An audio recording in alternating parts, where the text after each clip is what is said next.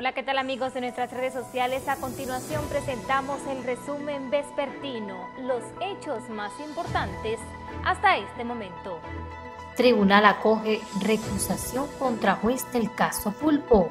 La Corte de Apelación del Distrito Nacional acogió la recusación interpuesta por los abogados de uno de los imputados del caso Pulpo, Alexis Medina Sánchez, contra el juez que lleva la instrucción del proceso. Los abogados defensores de Medina Sánchez interpusieron la recusación contra el juez Amaury Marcos Martínez Abreu del tercer juzgado de la instrucción del Distrito Nacional, a quien le atribuyen carecer de la imparcialidad necesaria para llevar a cabo la conducción del proceso judicial en curso.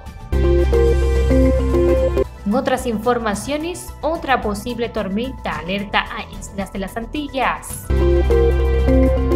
Proconsumidor cierra negocio en San Francisco de Macorís que habría vendido alcohol adulterado y provocó el fallecimiento de varias personas.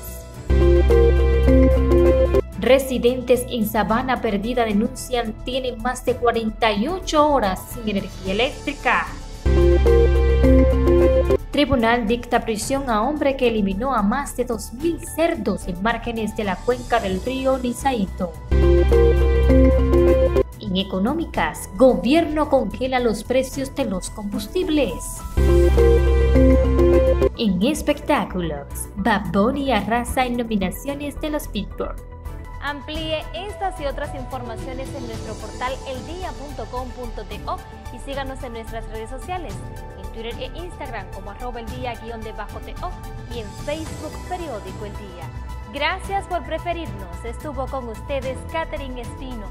Tengan feliz resto de la tarde y recuerden que somos Periódico El Día.